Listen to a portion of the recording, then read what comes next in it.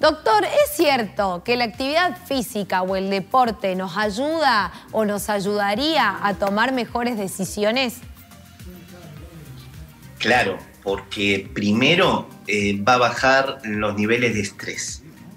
El estrés es nuestro peor enemigo, porque se produce un aumento de adrenalina y eso va a tomar el cerebro, lo va a alterar, lo va a poner ansioso, nervioso y impulsivo. Mm. Entonces, y también de mal humor, muchas veces con pensamientos negativos. Y entonces eh, entramos como una suerte de estado de confusión, un estado como que no hay tanta claridad. Y el deporte nos ayuda a bajar los niveles de estrés y de esa manera eh, baja la presión que hay sobre el cerebro, el cerebro está más tranquilo, está en mejores condiciones, más positivo, más relajado, y eso nos permite entonces tomar mejores decisiones. Qué bueno este tema, doctor, ¿no? Porque realmente uno muchas veces hace actividades físicas eh, o actividad física y no se da cuenta, ¿no? de, de, esto, de decir, bueno, esto que estoy haciendo para mi cuerpo, eh, más allá que me sirve para un montón de cosas, también me va a estar sirviendo para eh, tomar o no una decisión. Ahora, concretamente, ¿no? Si nosotros por ahí estamos en, un mal día o en un día donde realmente tenemos que tomar serias decisiones, pero no llevamos una rutina de ejercicio físico, por ejemplo, ¿nos podemos poner a hacer en ese momento para que nos dé claridad, para sentir también paz y estos beneficios de los que estamos hablando? Sí, mira, algo tan sencillo, Cecilia, como salir a caminar. Mira, te cuento que yo lo hago. Mm. Ponerle que tengo una reunión, ¿no? Viene una reunión, tuve otra reunión, vengo trabajando y demás. Entonces, eh, hago una pausa, salgo a caminar, salgo a la calle, ponele, trato de caminar una cuadra o vuelta a la manzana y después volver y empezar nuevamente con la agenda y demás. ¿Por qué?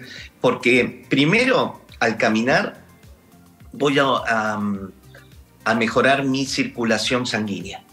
Y entonces comienza a activarse mejor la, la mm, circulación y se llena más el cerebro de oxígeno, que le da más nutrientes, más energía y aparte de, de, despejé mi mente. Es tan sencillo como eso. Ahora vos me decís, bueno, tengo eh, trabajo en la oficina. Bueno, andate al baño.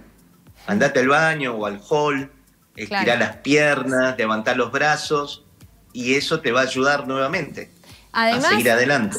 Además, esta actividad física, eh, ¿cuánto tiempo necesitamos hacer para que, para que nos haga efecto? Digo, por ejemplo, una pausa saludable en el trabajo, mover el cuerpo, eh, no sé, los brazos también, algunas articulaciones. ¿También nos sirve, doctor? Claro, no, tres minutos, cinco minutos, mm. eh, básicamente. Eh, mover el cuerpo. Vos sabés que el cuerpo hoy en día eh, se considera que es la mente. Claro. practico artes marciales, no sé si les comenté. Sí. Sí, bueno, y una vez un Shifu, un maestro de Kung Fu, me dijo que em, el cuerpo tiene emociones y modula las emociones y el estado de la mente.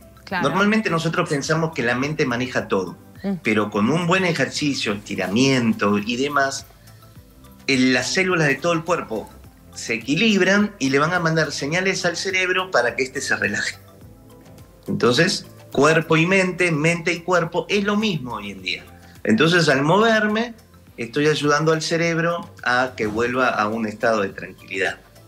Además, doctor, esto sí es importante, me parece a mí, cuando ya adaptamos la actividad física o el deporte o lo que hagamos eh, a la rutina, ¿no? Esto de, darle constancia, me parece que después eh, es más fácil para seguir haciéndolo, porque si de pronto lo haces dos o tres veces al mes, después es más difícil de volver. Pero si realmente haces la rutina de decir, bueno, martes y jueves, o lunes, miércoles y viernes, hago esta actividad y ya es más fácil, ¿no?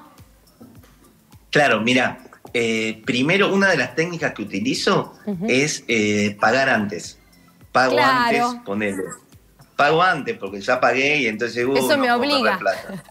Me obliga, si viste cómo es el bolsillo.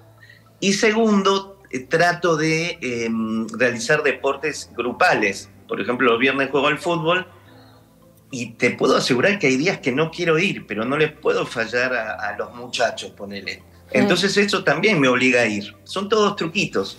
Me ayudo con, em, con toda esta serie de cuestiones porque bien decís vos, tenemos que mantener una rutina regular. Es muy importante. ¿Sabe qué, doctor? Me encanta esta idea de, buscar el grupo con el que uno va a hacer el deporte o va a hacer el gimnasio.